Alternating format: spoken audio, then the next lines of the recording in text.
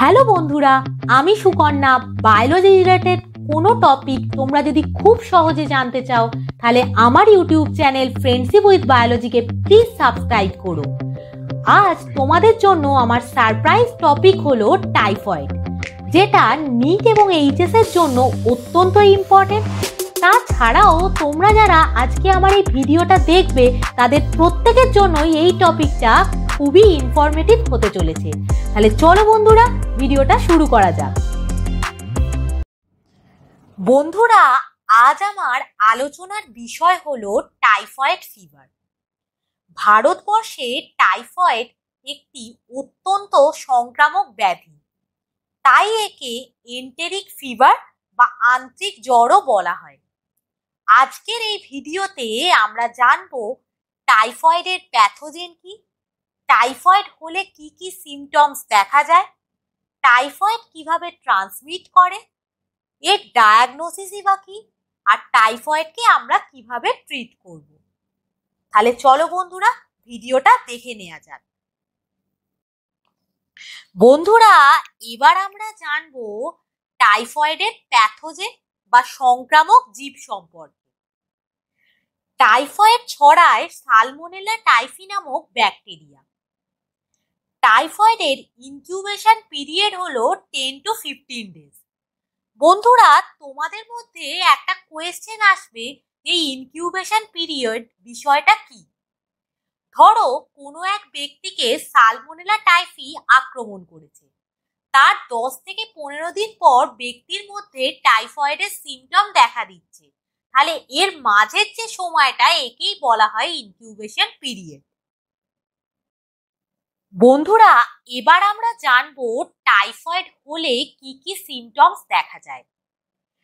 Typhoid হলে জ্বর ক্রমশ বাড়তে থাকে।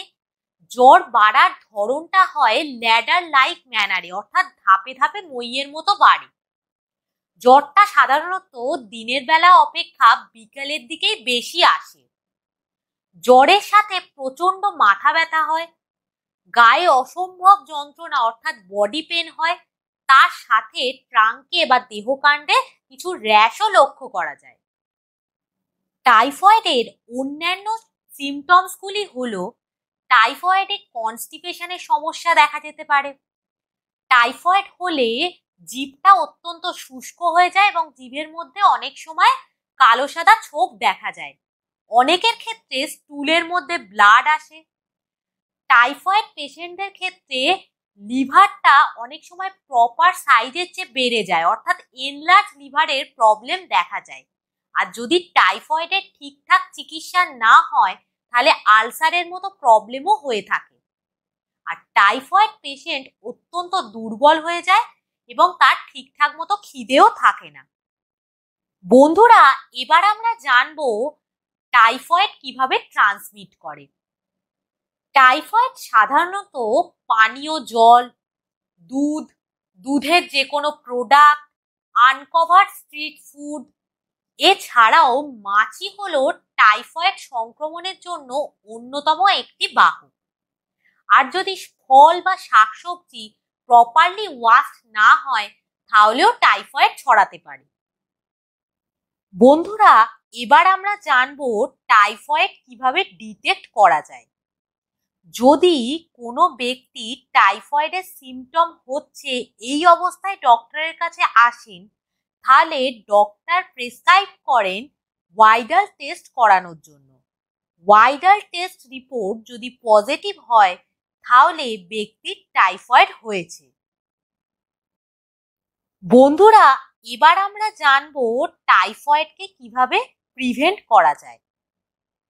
টাইফয়েডকে প্রিভেন্ট করতে গেলে ডক্টরের পরামর্শ মতো বিভিন্ন ধরনের অ্যান্টিবায়োটিক খেতে হবে। তার সাথে পানীয় জলকে ফুটিয়ে পান করতে হবে। তাছাড়াও ফলমূল, শাকসবজি এগুলোকে খুব ভালোভাবে ধুয়ে তারপর এগুলোকে খাবার হিসেবে গ্রহণ করতে হবে।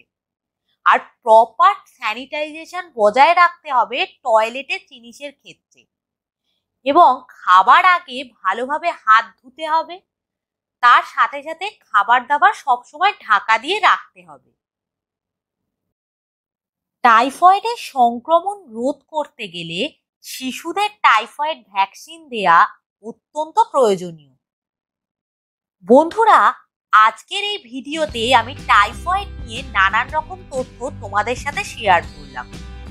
এই টাইফয়েডের ভিডিওটা এইচএস এবং নিটের জন্য অত্যন্ত প্রয়োজনীয় এছাড়াও তোমাদের মধ্যে যারা টাইফয়েড নিয়ে জানার জন্য আগ্রহী ছিলে, আশা করব তোমরা সবাই কমেন্ট সেকশনে আমাকে জানাবে তোমাদের ভিডিওটা কেমন লাগবে যদি তোমাদের ভিডিওটা ভালো লাগে, তাহলে আমার ইউটিউব চ্যানেল ফ্রেন্ডশিপ উইথ বায়োলজিকে প্লিজ সাবস্ক্রাইব করো।